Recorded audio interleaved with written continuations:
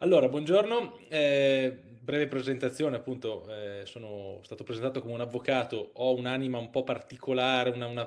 una, formazione un po' particolare perché ho il classico percorso da avvocato, ma comunque sempre con un occhio sul mondo del digitale, quindi già la mia prima quindi, laurea in giurisprudenza era su copyright, proprietà intellettuale, eh, open, licenze open, Creative Commons, queste cose qua, in anni in cui di questi temi si parlava giusto all'inizio, era proprio l'embrione di, quei, di, quella, di, quella, teoria che adesso è diventata abbastanza, abbastanza diffusa e conosciuta. Però io poi, oltre a fare il classico percorso avvocatesco, cioè il praticantato, l'esame di Stato, l'attività come professionista, ho sempre tenuto un piede in accademia e ho fatto una seconda laurea in scienze della pubblica amministrazione, che era propriamente chiamata governo e amministrazione locale, quindi un tema che, cioè, che, che dovrebbe dire, essere vicino a quello che, che, fate voi per lavoro. Infatti i miei compagni di università all'epoca erano tanti, tante dire, persone già eh, incardinate nella pubblica amministrazione che volevano una laurea specialistica per, eh, per scatti di carriera. E, ehm, e da quella laurea poi sono entrato a fare un dottorato di ricerca in società dell'informazione, quindi anche lì un dottorato molto legato al digitale.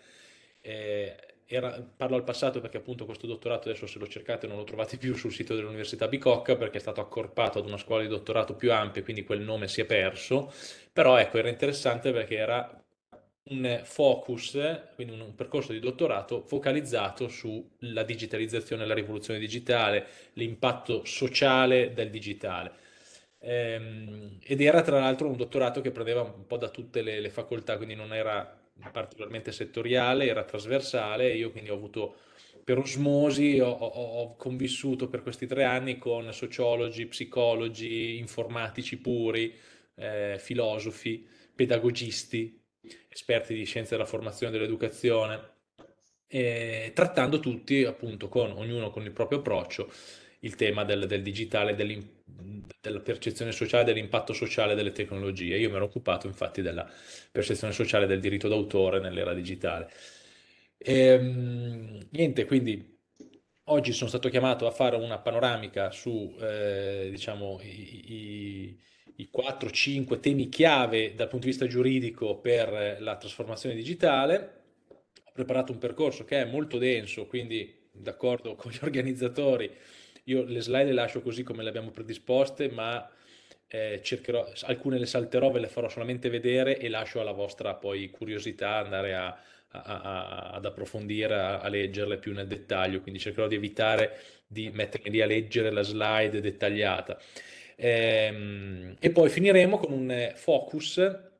sugli open data, che è un tema a me molto caro, nel senso che appunto era già quello della mia tesi di, di, di laurea del, del 2003. All'epoca in realtà non si parlava di open data, si parlava di open content più genericamente, open data è un tema che è arrivato leggermente dopo,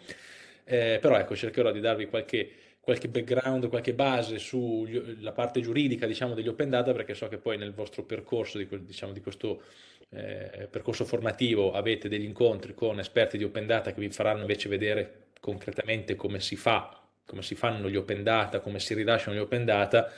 magari avere già conoscenza del background giuridico, dell'aspetto giuridico, non è male.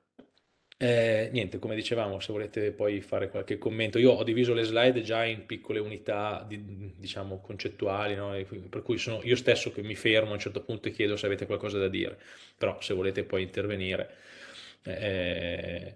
in, come abbiamo già fatto in, altri incontri, no? sappiamo, siamo un po' elastici, quindi mm, mi, mi, mi fate qualche commento, mi, mi, alzate la mano, non so, io non, non, non, vi vedo fisicamente perché, no esatto, non vi vedo fisicamente perché vedrò le slide, però vi sento.